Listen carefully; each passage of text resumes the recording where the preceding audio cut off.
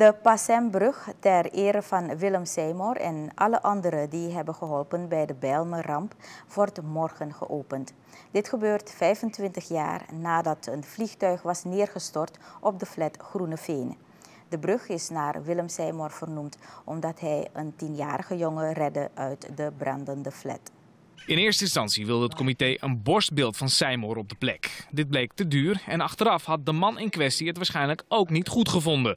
Want de in 2008 overleden Passem was de bescheidenheid zelf. Daar was de collectieve ruimte het groentje en dat werd beheerd door Passem. En hij runde daar een, eh, een, een, eh, kinderclub en een, een buurtcafé en er waren andere activiteiten. Op de dag van de ramp had Seymour acht kinderen onder zijn hoede in het groentje.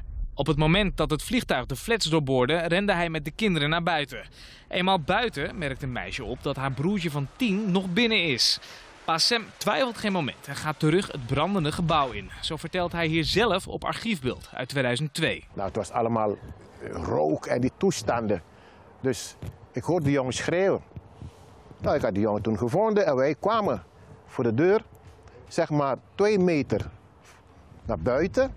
En toen was een galvaanpijp, die kwam naar beneden. En die jongen liep voor mij. En ik heb toen die pijp zo met mijn handen opgevangen. Dus die pijp die kwam hier van meneer. Kijk, dit is mijn echte huid vroeger van mijn handen, maar allemaal hier is transplantatiehuid. Passem kwam al brandend en gehavend uit het gebouw rennen. Omstanders hielpen het vuur doven. Wat betekent het voor deze plek dat deze brug er daadwerkelijk komt?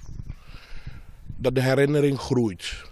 Maar dat ook de daden, de handelingen die mensen plegen op momenten waarop we elkaar nodig hebben, dat dat toch die verbondenheid die de Bijlmermeer ook uitstraalt met de realisatie van dit monument ook meer gestalte krijgt.